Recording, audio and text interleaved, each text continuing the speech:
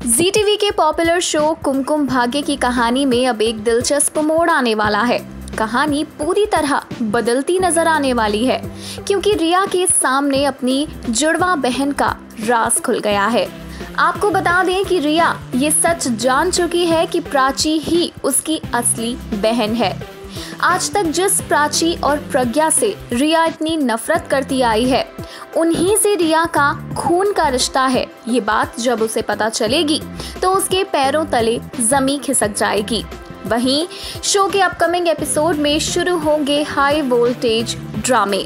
ये सच्चाई जान लेने के बाद रिया चुप नहीं बैठेगी, बल्कि प्राची और प्रज्ञा के पास जाकर इस बात का खुलासा करेगी कि रिया प्राची की बहन और प्रज्ञा की बेटी है। वेल well, अब देखना इंटरेस्टिंग होगा कि क्या कुछ नए ट्विस्ट एंड टर्न्स आते हैं शो की कहानी में क्योंकि रिया की जो बुआ है वो इतनी आसानी से तो इन तीनों का मिलन नहीं होने देंगी। इंतज़ार रहेगा सीरियल कुमकुम भाग्य में आने वाले इन सभी ट्विस्ट एंड टर्न्स को देखने का। किस तरह प्रज्ञा अपनी दोनों बेटियों के साथ खुशी खुशी अपनी ज़िंदगी बिताती है, जानने के लिए थोड़ा सा इंतज़ार बाकी है।